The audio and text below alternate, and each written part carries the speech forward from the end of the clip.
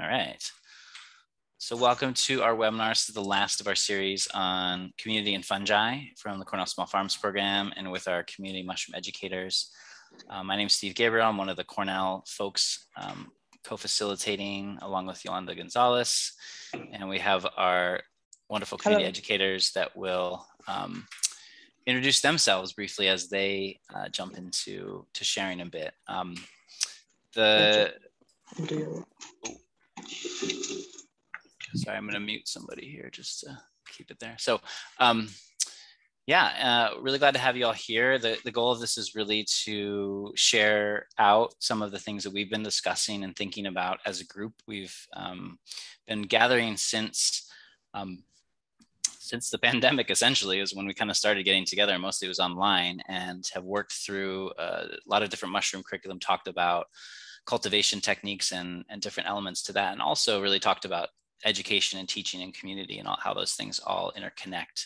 Um, and so one of the reasons we want to bring this to the forefront is just to, to have some conversation and, and keep thinking about and determine as we move forward what kind of um, activities and collective action we might want to take um, to increase access because that's really the point i think i can speak for everyone where we're all like really excited and passionate about mushrooms and have found our own ways to relate to them and work with them and and recognize that um, things we might have access to others don't in some cases or vice versa and that there's ways that we can all kind of collectively um, get folks on board who want to learn more and, and, get their hands in into mycelium and into mushrooms.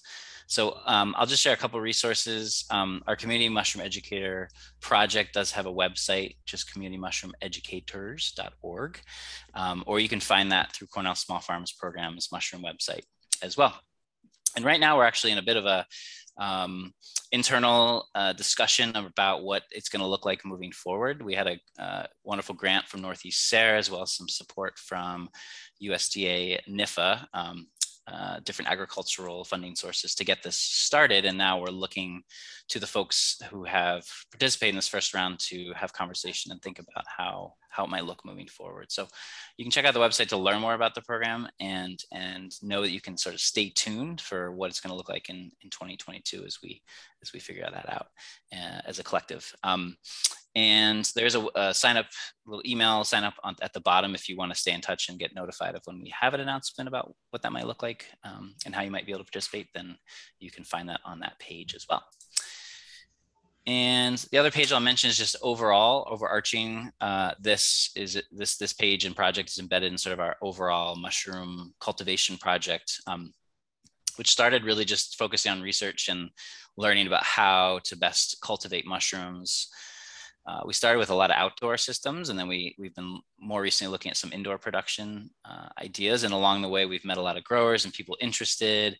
We've learned a lot about markets and economics for those looking to sell. We've learned a lot about how mushrooms can fit into community, um, communities of all sorts of different sizes and shapes and colors. And um, and with all sorts of goals in mind. So, so uh, while we might have some economics and, and sales figures on this, that may not be everyone's goal, and we totally recognize and, and honor and support that.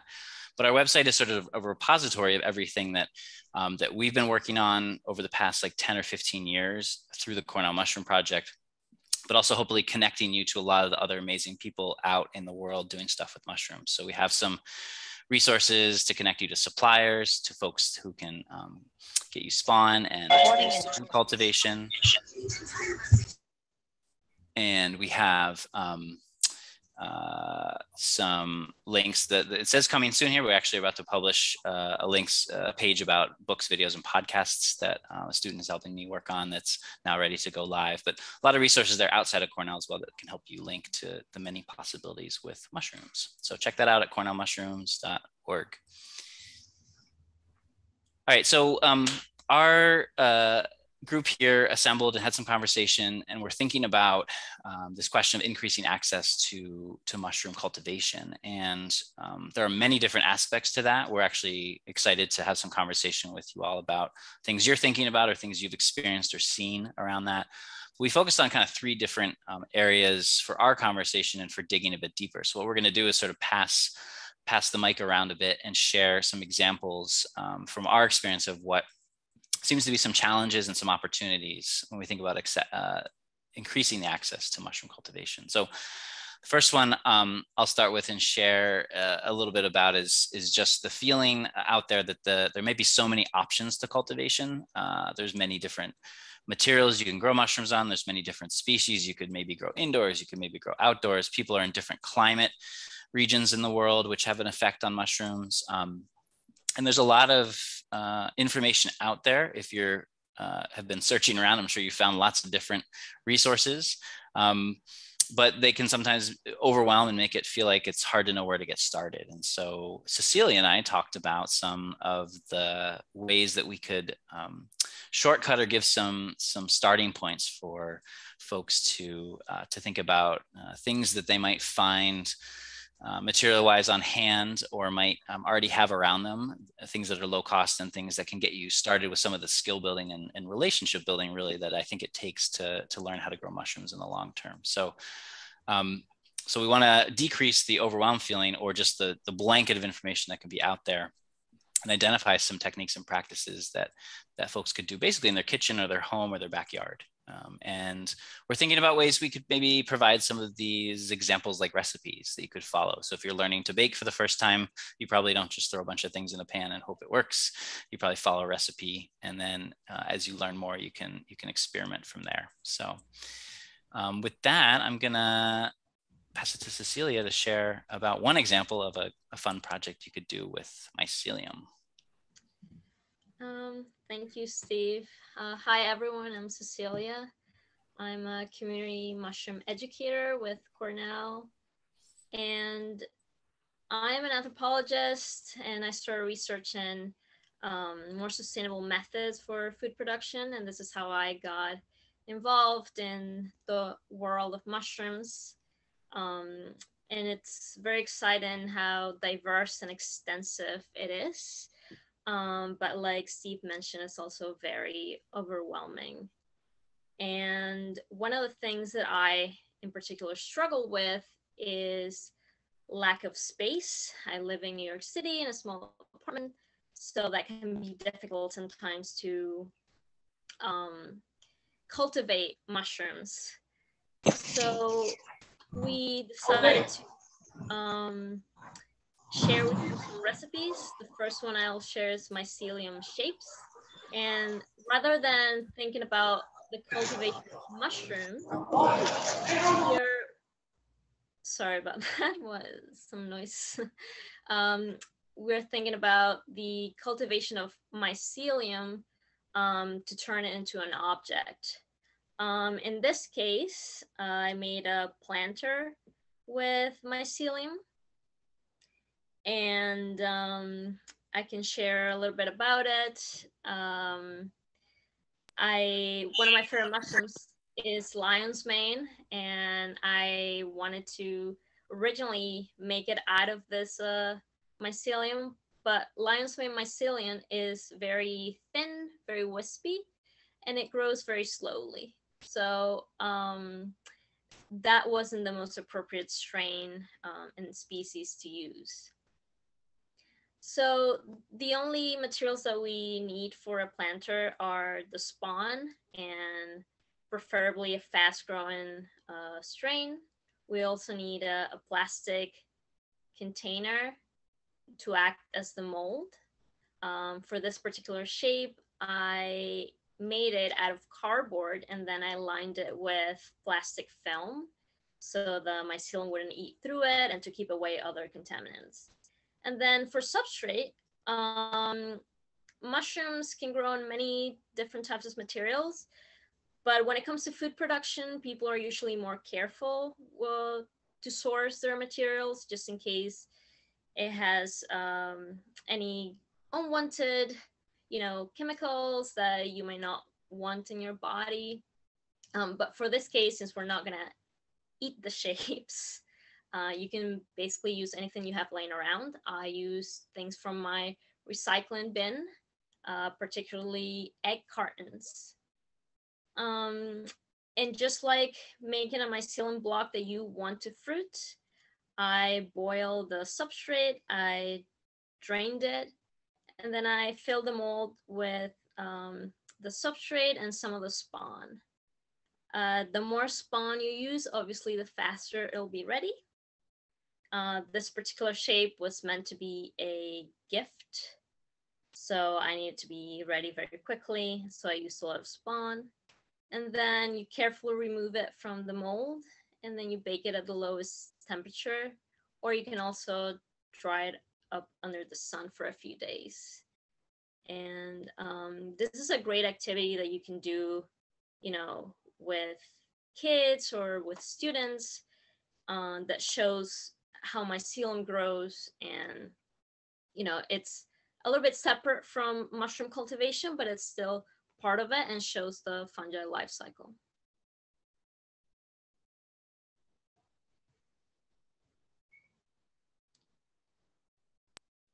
Awesome. Thanks. Another um, example of something that you could do in your kitchen or a very small space um, is what I like to call sort of stovetop oyster cultivation. Um, so similar in some ways uh, to the last example, but focused more on the goal of producing fruiting mushrooms. Um, you could obtain uh, straw, shredded straw, or um, another common thing we've seen folks be able to find, especially in like pet stores, are um, wood chips that are wood shavings that are used for bedding, like aspen shavings. You would want to use not uh, not, like a pine shaving or anything like that, but a hardwood uh, or a tree uh, shavings coming from a tree that has leaves, not needles, because the pine tends to um, not help the mycelium grow. So you could experiment with different things, and you could imagine that uh, something like straw, you may be able, be able to find something in your garden or your backyard or, or down the block that you could harvest and dry and then shred up like straw. So it's really just something that's high in um, in cellulose and things like that the next thing you basically do is boil it on your stove like you would be cooking a, a, a meal. You boil it for 90 minutes. Uh, and this is to clean the straw uh, and essentially remove any other contaminants, any other kind of microbes that might inhibit the growth of the oyster. And then you can spawn it with, um, again, spawn. And when we say spawn, what we mean is it's actually mycelium that you can either make yourself. We'll talk about some ways to do that in a bit, or you can purchase from a supplier, just like you would buy seeds um, from a, a, seed supplier for vegetables or something like that. And you're, you're putting that into the, mixing it into the material. Uh, so a couple examples here in the pictures. One is uh, uh, sort of a straw log that we made. It's, it's cut in half to show how the mycelium is growing through. But we just stuffed that in a long sort of tubular bag. Um, to get it going. And then another example is at a youth farm that I did an activity at. We did this and we packed them just into Ziploc bags. And you can see here, the Ziploc bag is folded over. So it's about a third full and you pack it really tight with the straw and the mycelium mixed in, and then you leave it like that. Same kind of thing. The oyster tends to grow really fast.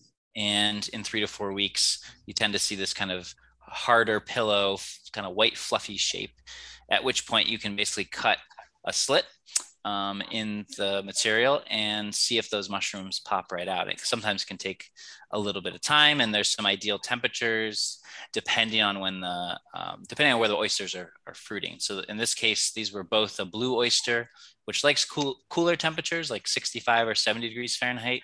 But then there's a yellow oyster and there's a pink oyster and the pink oyster can handle much hotter temperatures. And so you could kind of pick the mushroom um, based on the temperature where you think you might be fruiting it. And so this is a really easy way to get started.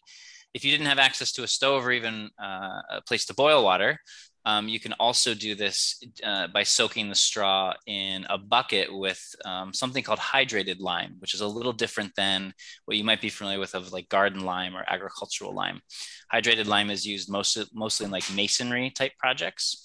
So a place that supplies uh, masonry materials and you can get it for very inexpensive. Um, and you basically use that to um, you raise the pH of it by adding the lime to the water and soaking the straw overnight. But it basically does the same thing as boiling it without the energy or, or the need for a stove. And so in certain places, that might be a more appropriate way to do it. But it's a really easy way to get started. And then you can play with your recipe. You could change the type of material you use as your base, like in this case, the straw, to something else. You could add in um, coffee grounds or other nutrients to try to increase the productivity of them. You could change the size or the shape of the container. You could even play with things um, uh, that are more permanent containers like glass jars or buckets or things like that. So there's a lot of ways that we've seen people take this and experiment as a way to start growing and getting to know what's possible. Okay, another example here from Cecilia. Yeah. Um, so mushroom cultivation and liquid culture. Uh, as we have seen before, uh, we can uh, use the five gallon buckets. But for me, that's kind of inaccessible because of, like I mentioned, reduced spaces and the inability that I have where I live to control the temperature, to control the humidity, all these things that affect uh, mushroom uh, cultivation. And so one solution that I came up with, uh, because I still wanted to learn, I still wanted to experiment with mushrooms, even though I didn't have the space or I couldn't source the materials like straw, for example, or the lime, um, was to learn more about liquid culture. Uh, the problem that a lot of people see with liquid culture is that they think they need a lab and this you know includes very expensive equipment. Uh, like we see the HEPA filter, um, a nice all-American pressure cooker, and uh, hard to get materials like um, these lids with the rubber uh, uh, entry points and also there's an abundance of recipes out there so it's difficult to to know which one's best which one's going to work for me and if should i really invest all this uh, time and resources on something that might not work out. So i decided to experiment and we can go to the next slide.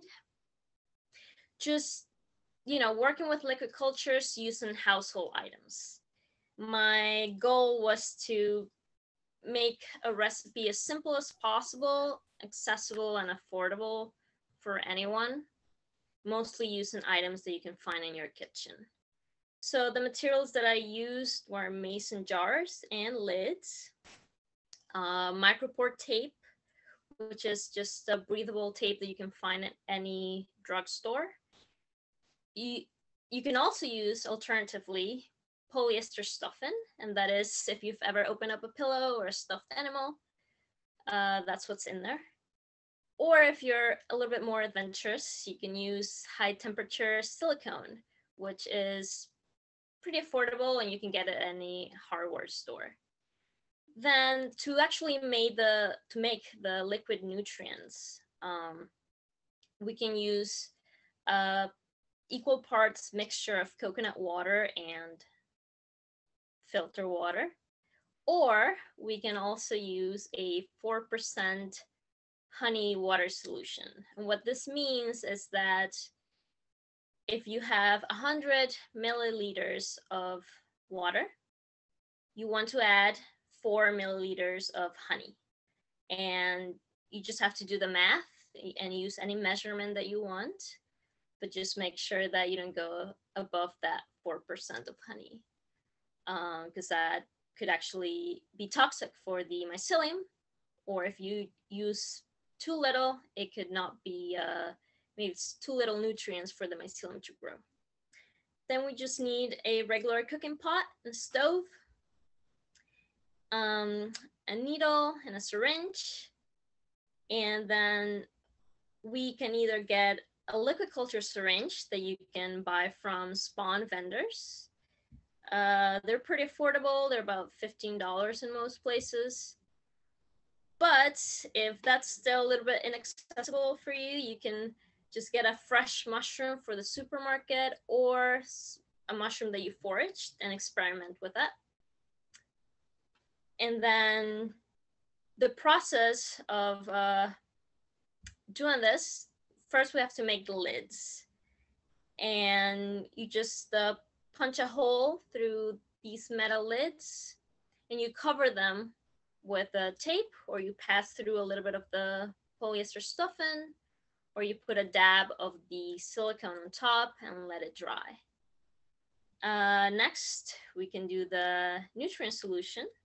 And you can choose either recipe, whatever's easier uh, at that moment and then fill the jars and close them. Then we put the jars in a pot and we cover them with water, making sure that water doesn't get on top because if the tape or the polyester stuffing gets uh, wet, then we can allow contamination to go through. So we want to, uh, we want that to remain dry. And we heat up that pot for 30 minutes. It should start boiling at around 10 minutes. So we just leave it in total for 30 minutes and then we allow it to cool down. Um, and then we go to the next step, which is uh, sterilizing our needles. So this is easier if you're using a pre-made liquid culture syringe. You just uh, sterilize the needle and insert it into the jar and put in a little bit of the uh, liquid culture. But if you have a fresh mushroom, then you want to do a tissue sample. Uh, to do this, you should make sure that the area that you're working in is very clean. There's no drafts of air blowing, you know, things around, particularly spores that could be in the environment.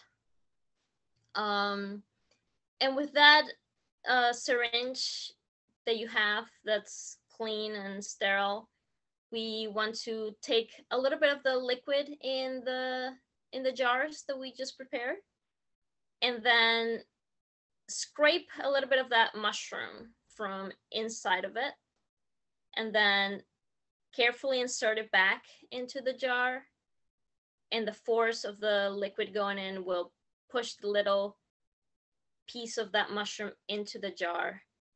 And um, this method has worked for me. And it's quite exciting because you're essentially cloning a mushroom with that little piece. And in just a few days, you can see little strands coming out and expanding.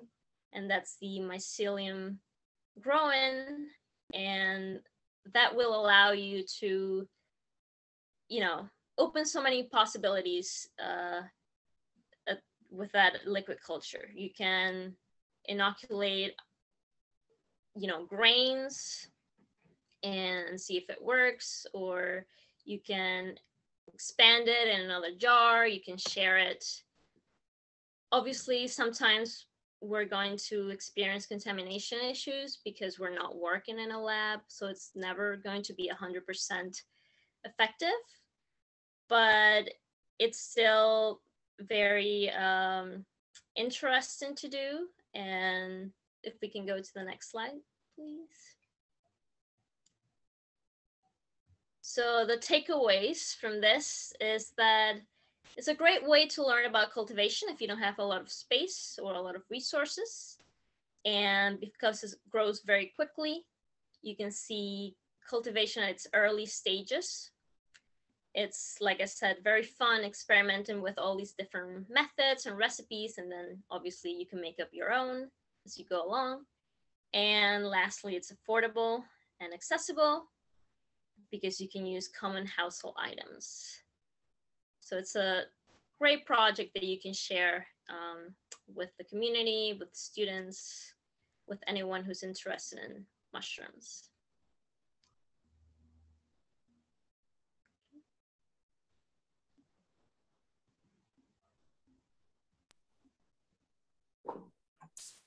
Okay, this is uh, me and Sneha's um, part. So um, so in the past few years, I actually have been also experimenting with a lot of this low tech techniques that um, Steve and Cecilia was sharing. So thank you so much for sharing this um, techniques and affordable and accessible ways for people to experiment and learn to grow. And in, in the past, um, uh, I guess one and two years, I, I've been also interested in um, how to make it, how to introduce mushroom growing into uh, urban outdoor space. So um, we say here community gardens, but it doesn't have to be community gardens. It can be uh, school gardens, or it could be someone's backyard, um, or even like a, your balcony. Um, so yeah, can we go to the next slide? So there are a few challenges um, we both figured that we are constantly facing. Um, like uh, earlier, we talked about outdoor space is always very, very limited, very um, precious here um, in the city. Uh, I'm based in Queens, in New York. Um, um, so thinking about like, if we only have this little amount of space outdoor, how can we best utilize the space? Um, another challenge we figured is like, it's always hard to source the right substrates uh, in the city because um, uh, of course you can buy, um, but we also want to think about like ways we can maybe, you know, talking about accessibility is like affordable, easy to um, access. Um, like thinking about what kind of materials or substrates we can use in the city. And even like for me personally, sometimes I figure, oh, I actually found a really good source for uh, getting the substrate. But I only have this little space. I cannot store um, the bulk substrates or have um, a lot of space to properly treat my substrate. So I have to think about like what are some of the um, um, type, what types of substrates can allow me and still experiment, do my experimentation, but at the same time, I don't always make a mess because that would be dis- uh, discouraging too um, for me. And also another challenge we figured is um, oftentimes it's it's costly to access fresh and high quality spawn. And for it, especially if you are just um, get started uh, maybe the, the project scale is small. Um, oftentimes I, I only use like maybe 10% of the, the spawn bag and then leave the rest in the in the fridge. It would it would be ideal if we already have a like a community to share. That would be, I think, ideal situation. But what if I I just started and I am using a little bit of the spawn and paying like $30 for a big bag and you know using a little bit and yeah it's a cost adding on top of everything um, so and on the other side living in the urban environments we figured you know we are having a lot of waste streams around us. One is the from the tree services uh, services. Um, so um, um, like where where do those um, um, logs or um, you know tree waste coming from the tree services? So that's one. And another is uh, urban small community farmers also are facing the similar situation that we individual um, growers are facing they have limited space so oftentimes what they do is they grow their, they fruit their mushrooms.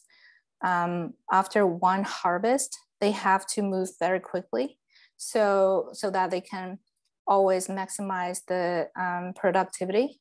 Um, so oftentimes they harvest once from the grow bags and then they have to move those out of their way and get new batch of grow bags in their space to um, for um, for fruiting. So um, oftentimes we can, um, if you know where their dumpsters are, you can find um, spent blocks um, that are uh, discarded by the small um, farmers here, or often, or more often, it's like you can talk to the um, um, farms and and talk to them and say if you can utilize some of their spent blocks because there are there's actually a lot of productivity left in those bags. So that's a waste, but for them, but for us could be a, a, a big resource. Another um, waste stream is, as Cecilia mentioned earlier, um, the cardboard. We receive a lot of, we have a lot of cardboards here, like just from shopping or yeah, me, mainly shopping, I guess, um, packaging. So yeah, thinking about all these challenges, challenges we're facing, um, can you clip, click once? So for those challenges, I yeah, we wonder, can we be a little bit creative? And I have to say, I think whenever we are faced with challenges, we automatically have to or become creative. So yes, there are ways to be creative and people are doing this. Um, so questions are like, because our space is limited, can we, what are some of the interesting ways we can um, um, increase the utility of our space?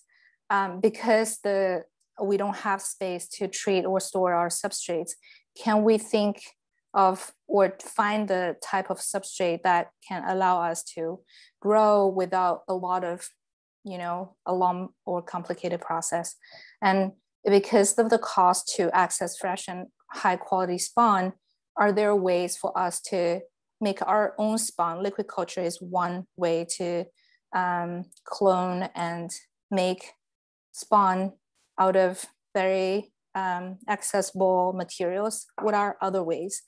Um, click, please.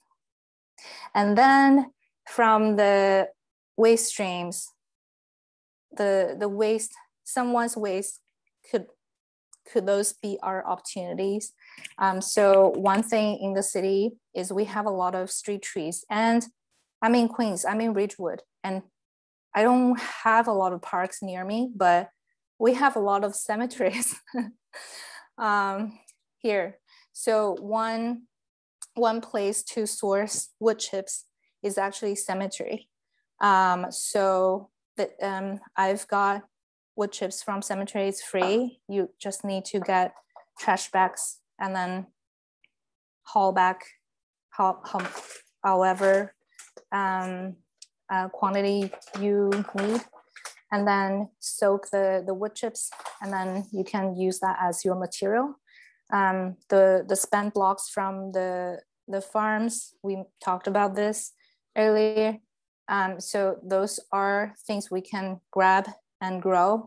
Um, and the cardboard is another resource we can think about like how to utilize for for growing and we will like next we are, we're going to share with you some examples um, next, please.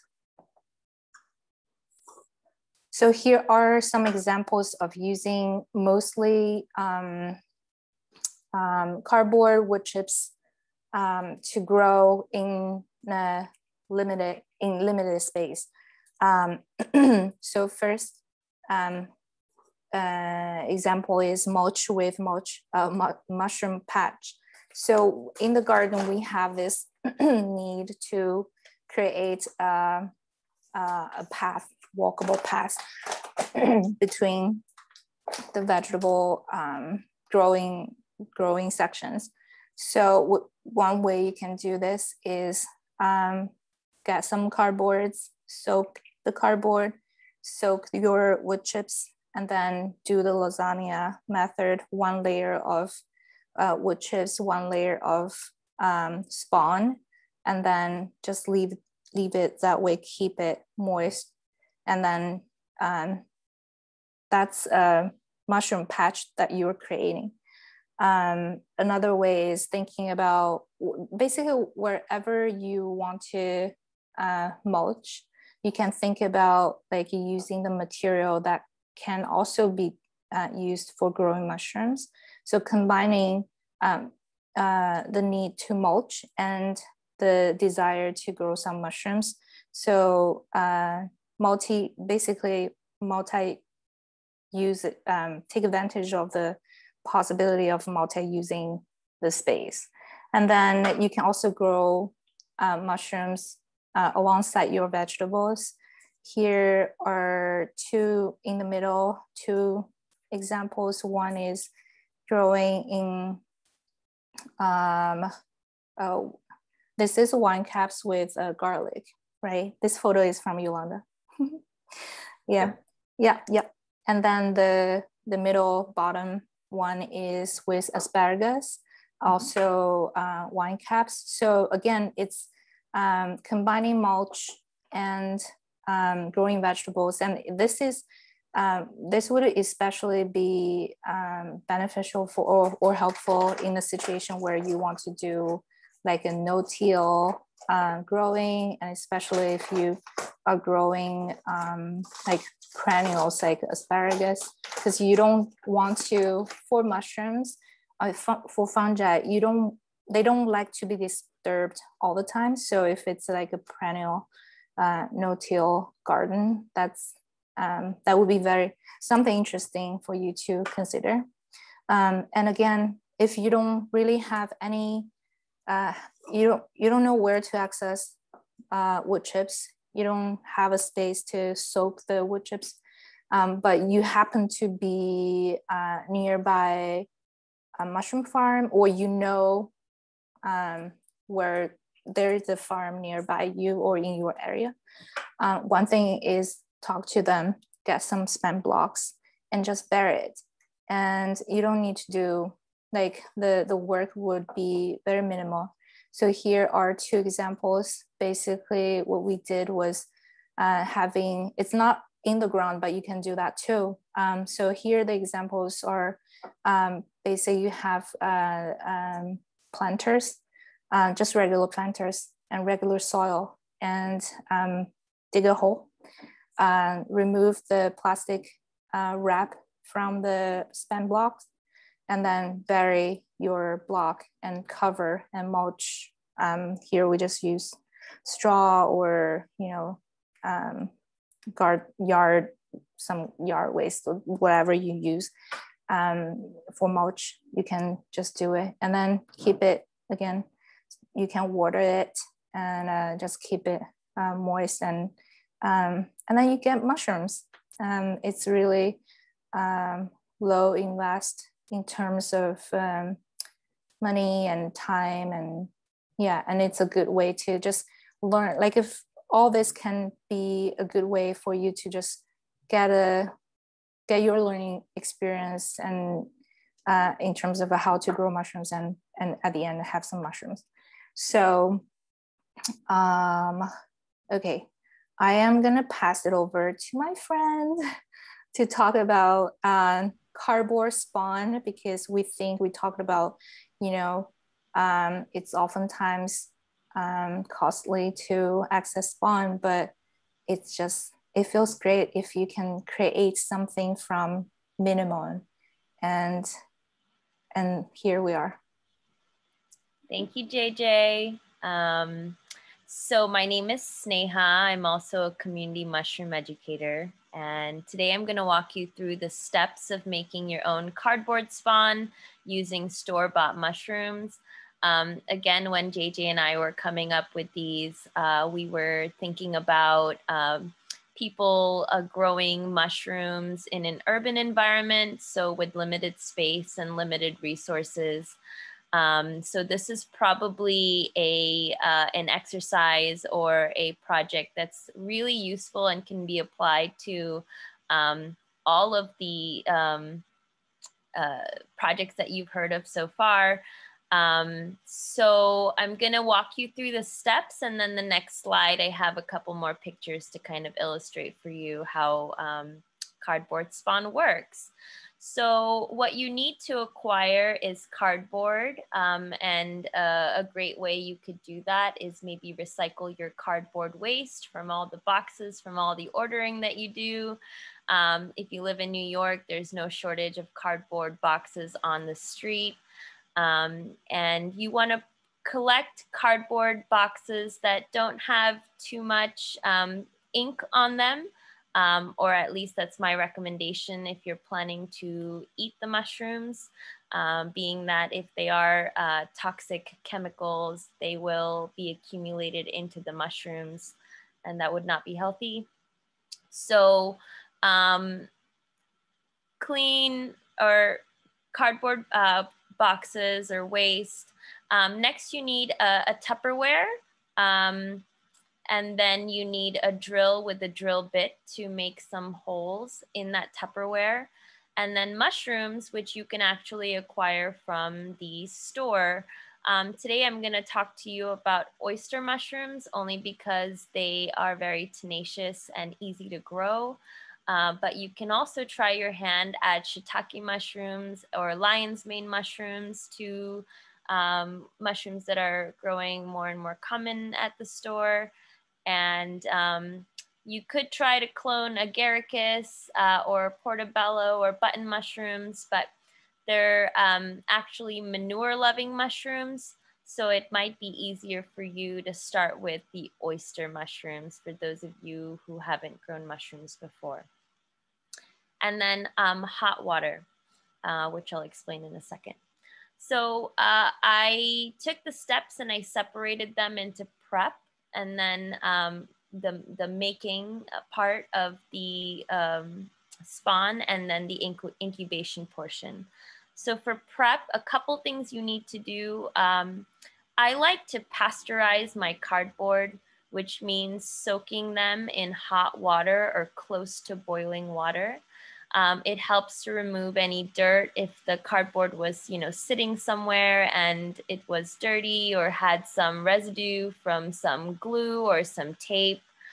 Um, it also adds moisture to the substrate and it also helps break down um, the substrate walls so that the mushroom mycelium can more easily um, myceliate the substrate, so the cardboard. Then once you have um, wetted and cleaned this cardboard, you can actually take the cardboard sheets apart. So you might have noticed in cardboard, you have sort of like two layers with a squiggly layer in the middle. Um, so if you're using corrugated cardboard, which I really like to use for cardboard spawn, um, because it creates sort of these channels for air to, to pass through. Um, and then basically you take the larger cardboard sheet and you cut it into strips that are small enough to fit inside your Tupperware container. Um, another thing that you want to do before you start building your cardboard spawn, spawn box is take your Tupperware and with a drill bit, um, just distribute small holes throughout the body of the Tupperware container. Um, I usually don't poke holes at the top or the bottom. Again, the holes are there so that the mushroom uh, mycelium can breathe and there's fresh air exchange as the spawn is growing inside. Um, so once you have these things prepped, I have this very quick doodle on the left-hand corner of what your Tupperware box uh, prepped with holes might look like. Um, then what you wanna do is take your uh, cardboard strips and uh, just like JJ had uh, mentioned about uh, using a lasagna style to make a garden bed, we're doing the same here. Um, there are a couple other methods which I'll show you in the next slide. Um, you could also uh, roll, um, sorry. Uh, so we can take the cardboard layers and then um, between each cardboard layer, you're gonna take bits of the clean mushroom tissue uh, from your store-bought mushrooms. You want to rip into the stem of the mushroom and where you see clean tissue, you want to select that part and go ahead and layer it in between your cardboard pieces. Um, and then you want to close the, the, the, cardboard spawn Tupperware um, and you want to leave it in a cool, dark place. And in about two weeks, you should be able to um, see some spawn or mycelium growth inside. Um, so quickly, next. Yeah, on the left, um, so just have cardboard. You can see at the top corrugated sheets. You could also see the cardboard shredded. And then you could also attempt what they call like a, like a more of like a roll or a burrito style um, uh, cardboard spawn method.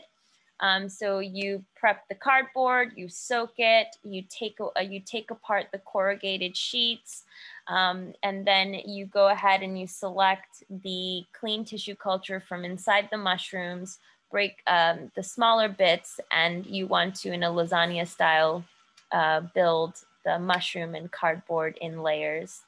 Um, and that's essentially it. So the reason we're showing you this is once you have spawn, you can use this for your liquid culture experiment. You could even go ahead and take these this cardboard and bury it or use it as spawn for your garden bed. Um, uh, it, it's a really, really cheap, easy, accessible way to create spawn and, uh, and do um, whatever that you wish.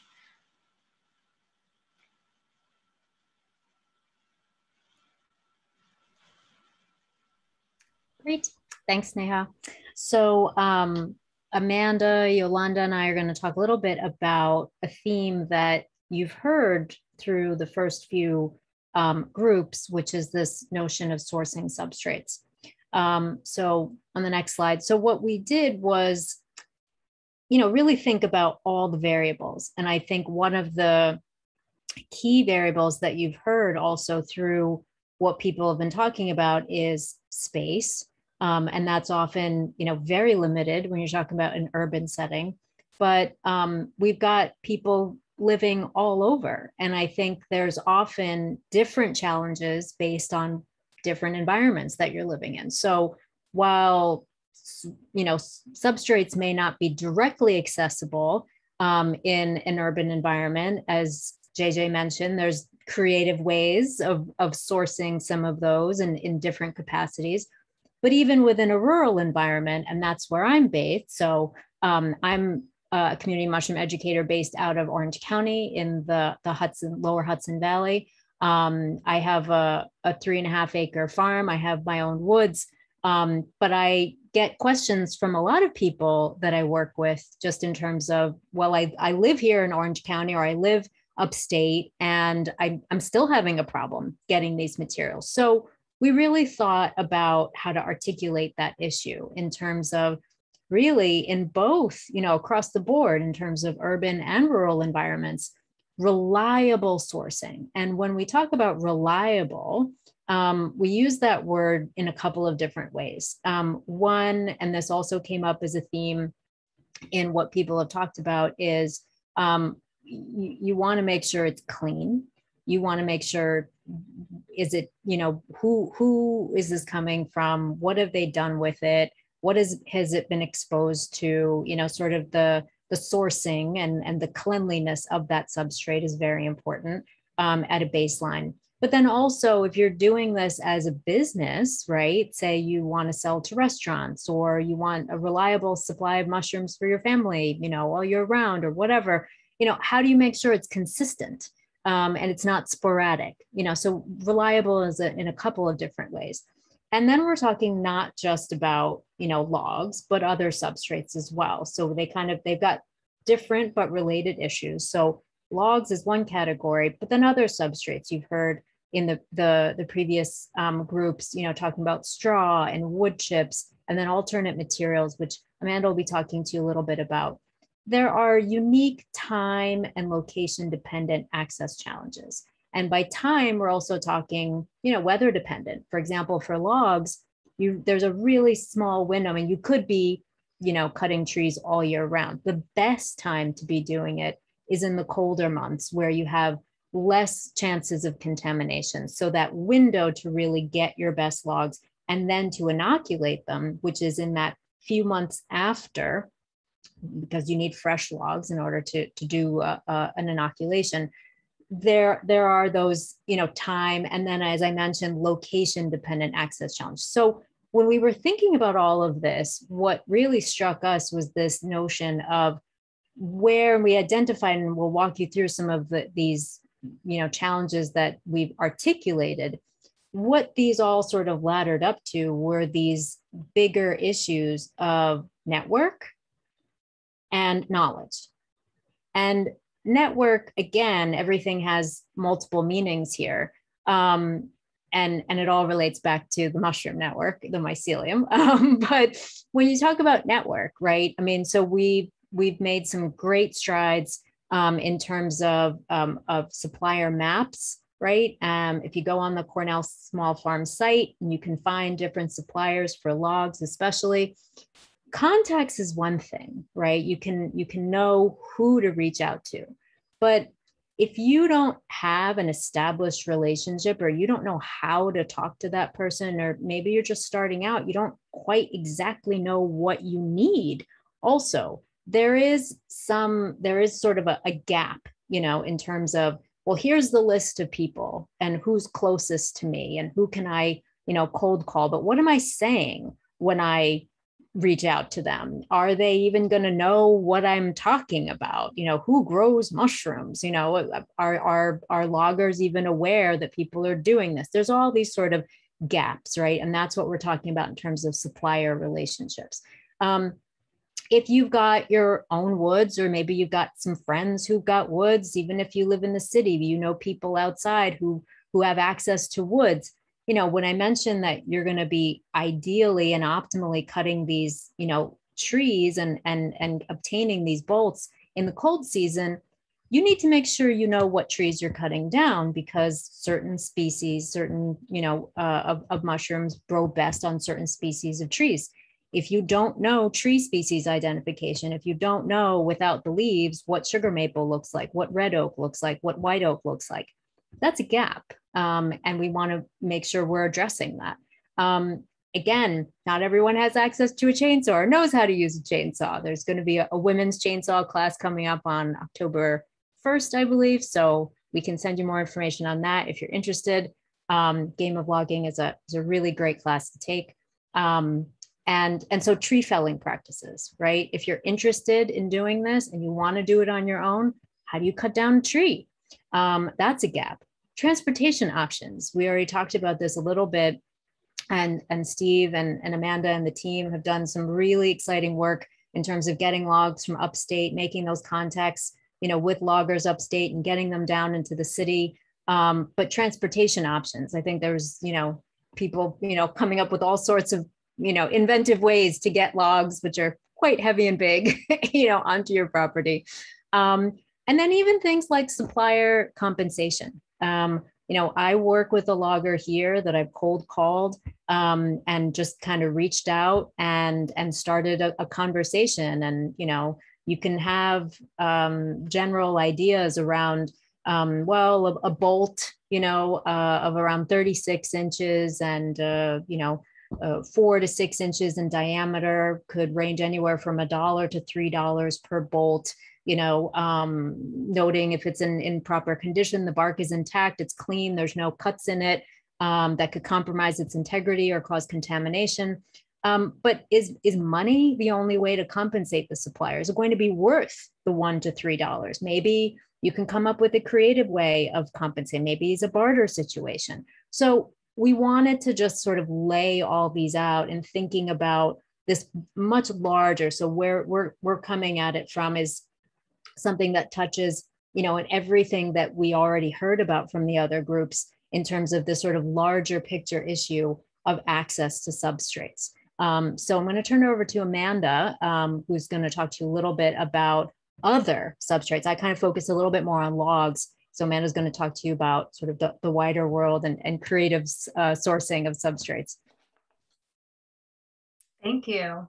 Um, so I actually got into mushroom cultivation by sourcing substrates without realizing I was going to be growing mushrooms on them. Um, I'm an artist and I, you know, enjoy, there's something like really thrilling to me about like sourcing abundance of materials that, you know, are just being thrown out. And also it was an act of wanting to reuse something that was just in abundance going into the landfill. And so then I learned, oh, I can grow mushrooms on these materials. And so I, I've been working with oyster mushrooms pretty much, uh, mostly, uh, I, I, feel like a connection to oyster mushrooms. And it's also a very, um, a very vigorous mushroom. So you can, um, it kind of grows really quickly on many different substrates so that, and, and almost like we've tried so many things um, on what to grow them on, and they really just kind of take to everything. I think someone's mic is um, uh, Warren Blue. I think you're unmuted. I mean, you're, yeah. Um, but so most people live near a coffee ground, a coffee shop, uh, and or a brewery, and so you could actually uh, people, you know, you could call ahead and you could get uh, coffee grounds or or beer grains from these shops, and so coffee grounds are also something you as you know just if you're a coffee drinker you can save them um, in a in a container and freeze them intermittently um, and save them yourself. So it's a really accessible way to grow mushrooms but most coffee shops have like a busier time of day time of the week. So you could call ahead you could drop off the container and just ask them you know because you don't want them like sitting around for a long time. So so for example the coffee shop where i get my coffee grounds from they're really busy Thursday through Saturday. So I'll drop it off on Thursday, pick it up on Saturday, and then I'll either freeze the grounds or I'll inoculate, you know, as soon as possible. And so the same thing with uh, the brewery grounds. Um, I found that you want to dry them out a little bit more than the coffee grounds. You want to, because usually they came really wet for some reason. They were like, you know, kind of soaked. So those are two options of how you could easily find um, uh, materials that you can grow mushrooms on uh, just right in your local neighborhood. And other options are many restaurants and stores have a lot of cardboard, as everyone's talked about. Uh, but you can go. I, I actually, you know, I try not to order a lot of stuff online, so I actually go to local stores and say, I say, hey, and I do order stuff online, but you know, um, if I wanted to do an, a bigger inoculation with cardboard, I'll go to this uh, a store that you know they usually get things shipped to them, so you can utilize their cardboard, and people are usually very excited to give that away. And the same with five, uh, food grade five gallon buckets. So most restaurants are getting all these materials in bulk in food grade buckets. So I now have a, a a five gallon bucket source where you know i know that they have these buckets and i live in a really small apartment so i actually can stack the buckets on top of each other as like totem pole kind of things um, and can grow mushrooms out of them out of the out of the bucket. And so um, I've also been a part of a collaborative project called the Mushroom Shed, and we have put together some videos where people can um, follow the instructions and the videos to actually grow using these materials uh, in a bucket. So it's we're trying to make it as easily accessible as possible for people. Um, and so you can, if you wanted to, you can watch the video and follow it along exactly on how to do it.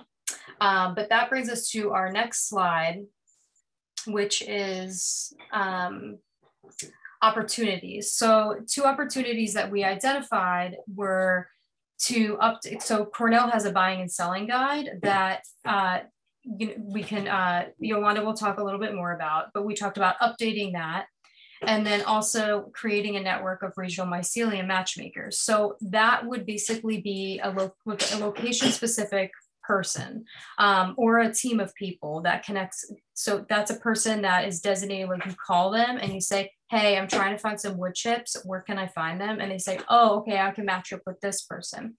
Um, so it's a, it's like a it's like a hub where this person uh, is you know connecting people to uh, local supply chains where they can find their materials um, and yolanda i don't know if you want to talk a little bit more about um, the guide, and then I'm sure Aisha, I know that you have some more to add about mycelium matchmakers. Yeah, so um, like Amanda just mentioned, uh, I put the link in the chat box, but this buying and selling guide um, for, for logs. So essentially we're looking at improving this. And we mentioned before that tree ID is really important. So perhaps having different um, images of what different species look like that work really well and are suitable for mushroom production. Um, and, and then creating different guides for different substrates and having um, expanding it to also include urban ag considerations. So if you're in a city, these are substrates that are easier to obtain compared to if you're in a more rural area. Um, so just taking a look at what we have available and expanding it and making it as relevant as possible for all audiences. Yep. And so if we go back to that theme that we had of network and knowledge, right? The the guide is really one way that we're thinking about of making sure that people have the right knowledge um, and can be informed to source substrate appropriately for what they want to achieve and accomplish. And the mycelium matchmakers, which is our cute little name of kind of like a mushroom substrate dating service, is to um, basically, you know, get that network, those relationships. And like Amanda mentioned, you know, take advantage of the relationships, the supplier networks that people already have. That anyone starting out doesn't feel, like Steve said at the very beginning, daunted by this task of like, well, how do I just go and find logs? Like, I don't, I don't know how to do that. We've got, we want to put people in place to help you do that. And we're really interested to learn what you think and get your ideas in terms of how to also improve on the knowledge and the network. And these are just a couple of the ideas that we put forward, but we're really looking forward to spending time discussing more and better ideas with all of you. Next slide.